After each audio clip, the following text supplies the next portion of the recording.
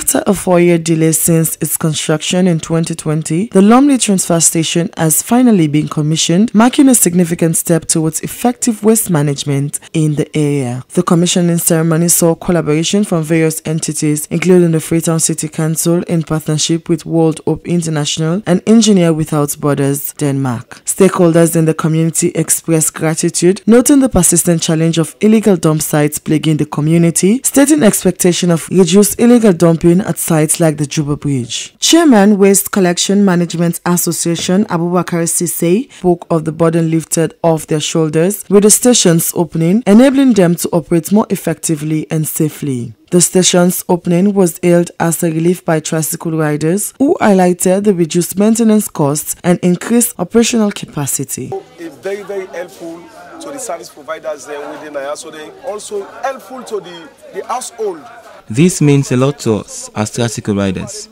We are extremely excited for this development. We can now do our businesses with ease and earn profit. But with this transfer station here, so if, for example, they get from a household, you know, then go double the trip.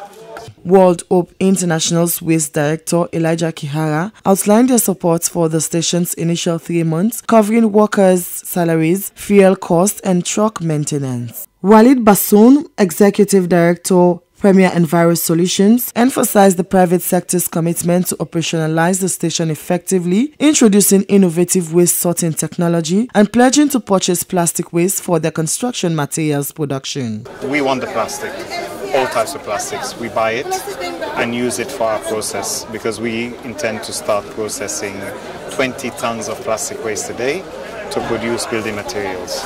We expect to start in June this year. Mayor of Freetown Yvonne Aki Sawyer said the commissioning signifies a crucial milestone in Freetown's waste management efforts, promising a cleaner, more sustainable future for all. She reiterated the council's dedication to building more transfer stations, emphasizing the broader impact on waste management and community well-being. All the waste collectors in the area no longer have to travel all the way to King Tom.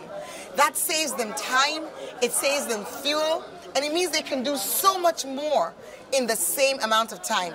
So whereas maybe they would have serviced five houses um, in the old system, perhaps they can now service 15 which means more waste gets safely collected. This initiative reflects a broader strategy aimed at keeping Freetown clean and sustainable, with plans for enhanced waste collection services benefiting households and businesses alike. SLBC News, Esther Sacko reporting.